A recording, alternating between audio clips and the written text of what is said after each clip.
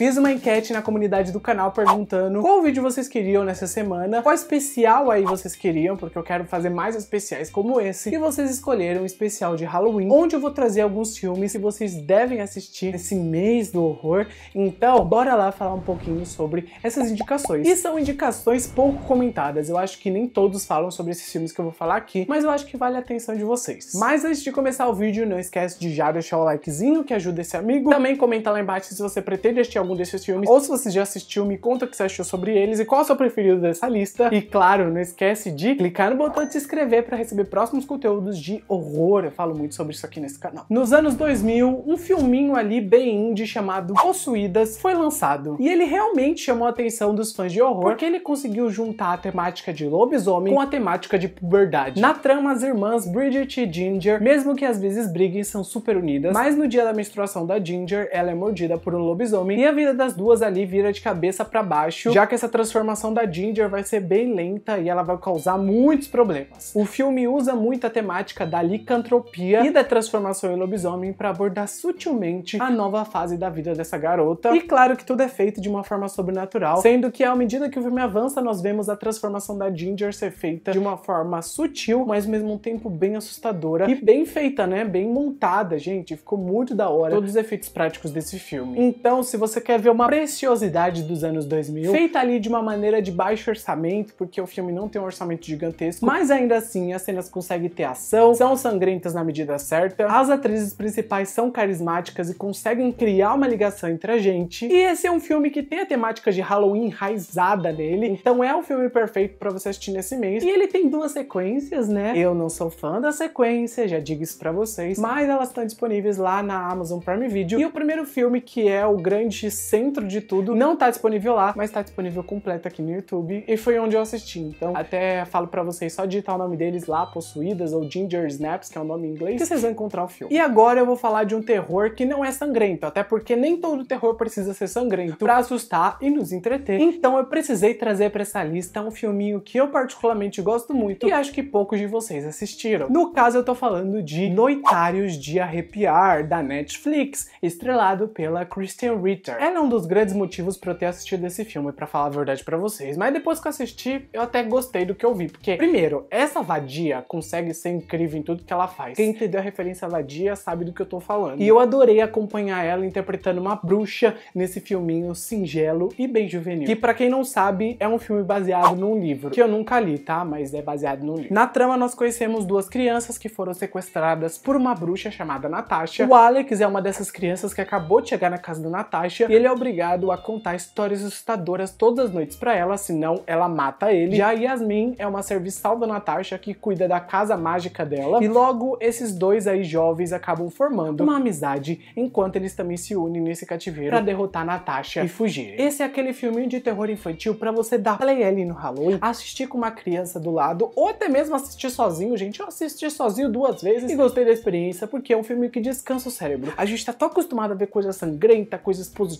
e esse é um filme pé no chão que consegue entregar um terror muito legalzinho na classificação etária dele, né? No caso, não espere uma coisa muito grandiosa, até porque a classificação etária não permite. Mas ele até que consegue contornar algumas coisas e entregar algumas coisas bem doidas e que você fala, nossa, isso é pra criança? Por exemplo, queimar uma bruxa no fogo. Esse filme tá disponível lá na Netflix e vale o seu play. Agora chegamos em um filme polêmico. Por quê? Porque ele é amado por poucos e odiado por muitos. Eu tô falando de Terror em Silent Hill, um filme que alguns de vocês me pediram para trazer vídeo, estou trazendo nessa lista. Então, de nada. Sinceramente, eu acho esse um filme mediano. Eu não acho todo ruim como algumas pessoas falam e também não acho maravilhoso como outras pessoas falam. É um filme que consegue entregar muito prometido, tem uma estética fantástica, mas assim, o roteiro é muito bobo. Gente, o roteiro é bobo. Se você falar que não é, ah, não, não dá para concordar, porque é bobo sim. Porém, temos um grande ponto positivíssimo nesse filme, que é um ponto que sai fora da curva de todos os outros filmes. O Sean Bean não morre nesse filme. A filmografia desse cara é marcada por alguma morte, mas nesse daqui ele tá vivo e ainda aparece na sequência. A sequência é essa que eu não reassisti, então eu não lembro muito. Mas ele tá vivo aqui no final desse filme. E eu até quando reassisti fiquei impressionado. Falei, cara, você saiu vivo, mano do céu, como assim? Na trama do filme nós acompanhamos uma garotinha que é atormentada por visões desde pequena. A mãe dela fica desesperada com a piora da filha e ela decide decide levar a filha para uma cidade ali que ela menciona nos pesadelos. No caso, essa cidade é Silent Hill. E ela sofre um acidente, a criança desaparece misteriosamente, fazendo com que a Rose embarque em uma jornada para resgatar essa filha dela nessa misteriosa cidade assustadora. Todos devem saber que esse filme é baseado num jogo de videogame. Se você não sabia, agora tá sabendo. Eu nunca joguei muito o jogo de Silent Hill, então eu não posso falar, ah, é uma adaptação fiel. Não é uma adaptação fiel. Enfim, eu não posso dizer isso, até porque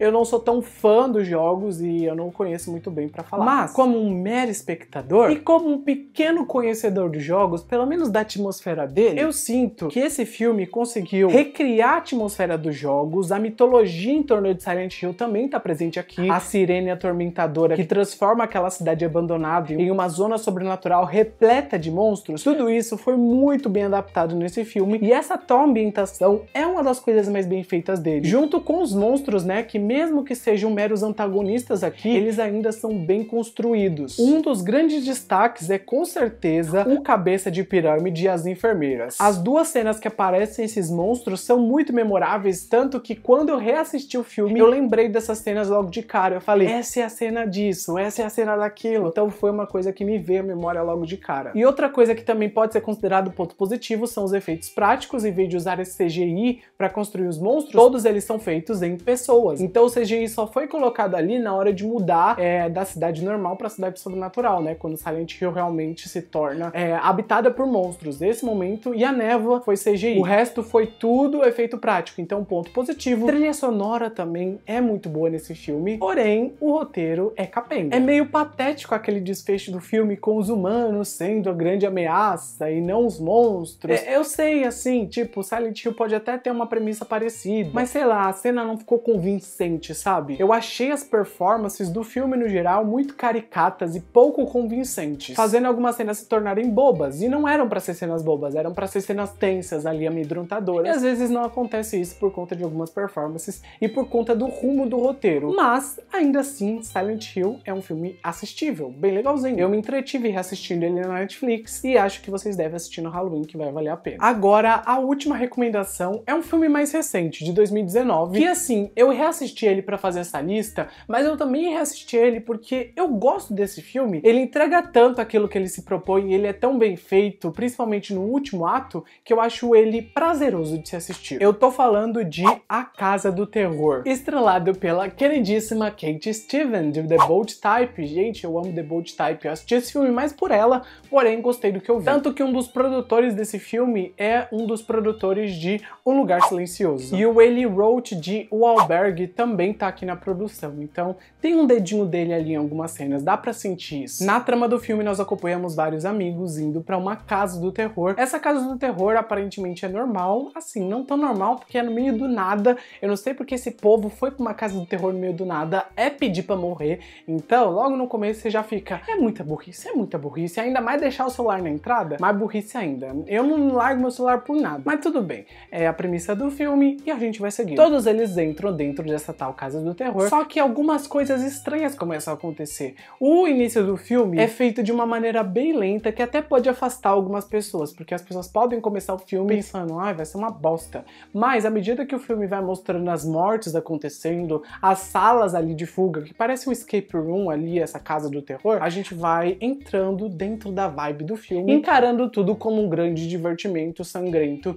que consegue entregar muita proposta. Se você quer ver sangue gore, esse é o filme indicado para você. Tudo bem que nem sempre tem um grande sangue, mas as mortes são criativas. As cenas dos pregos, gente, é, dói na minha alma de ver. Óbvio que tem algumas inconsistências, como por exemplo, a pessoa ali ferra toda a mão e ela tá pegando as coisas como se nada tivesse acontecido. Não, né? Tipo, lógica não se aplica nesse momento, mas ainda assim a gente passa um grande pano porque o filme é legal. E também passa um grande pano porque os vilões do filme são assustadores e a gente não sabe muito bem as motivações deles. Então, quanto menos a gente sabe a motivação do vilão, mais assustador se torna tudo, porque a gente não sabe onde eles querem chegar com aquilo que eles estão fazendo. Tanto que esse filme a gente fica com uma incógnita gigante na cabeça. Por que, que eles fazem isso? Por que, que a cara deles é toda estranha, é toda demoníaca? Será que eles são sádicos que gostam só de matar pessoas? Será que é uma seita? Será que é um clubinho do mal? Não sabemos. Mas o filme deixa claro que é um grande conglomerado de maldade, tanto que o desfecho é muito foda. A cena final, gente, sangue no olho, sangue no olho. Eu, eu amo a cena final desse filme, tanto que que, nossa, quando eu vi pela primeira vez, eu fiquei, ah, graças a Deus, uma personagem foda nesses tipos de filme. Porque geralmente nesse estilo de filme a personagem só fica.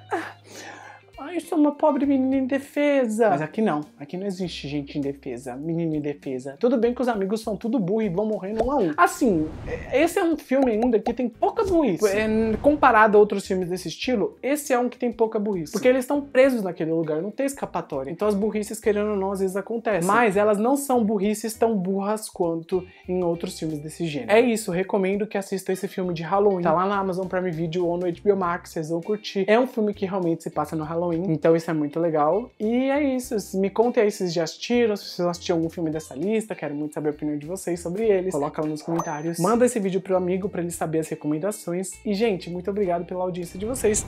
Grande beijo e tchau.